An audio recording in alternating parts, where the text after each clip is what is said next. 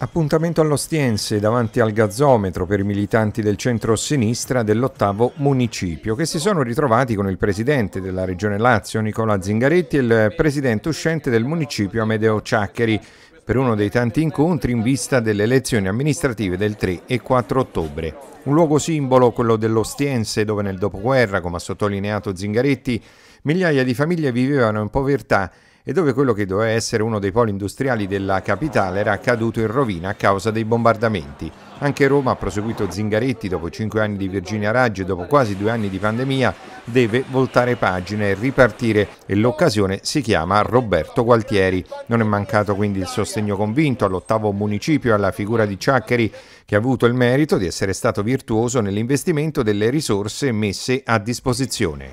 Allora dato atto e va detto perché altrimenti non si capisce su che cosa devono votare le persone e lo dico da testimone oculare che ha controllato e promosso iniziative che innanzitutto Ciaccheri ha un merito. Tra le tante opportunità offerte dalla Regione, questo è stato uno dei municipi migliori di Roma a raccogliere le opportunità su cultura, trasporti, pulizia, politiche sociali, perché? Perché non è vero che è uguale chi governa. Anche Amedeo Ciaccheri ha tenuto a precisare quanto il municipio si sia impegnato molto sul territorio sia sul fronte della riqualificazione di diversi stabili sia nell'ambito della solidarietà. In occasione del centenario di Garbatella sul patrimonio dell'edilizia residenziale pubblica, sul patrimonio ATER, con investimenti di più di un milione e mezzo di euro per ripristinare, per riqualificare dei lotti storici. Presenti all'Ostiense, oltre ai militanti, anche alcuni vertici della coalizione di centrosinistra.